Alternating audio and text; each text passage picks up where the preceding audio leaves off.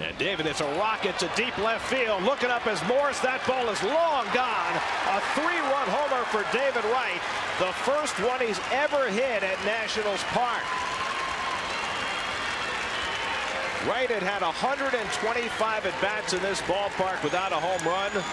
That one was a no-doubter. And the Mets take an early 3-0 lead.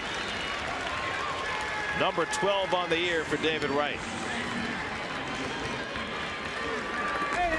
Well, right down the Broadway, no sink.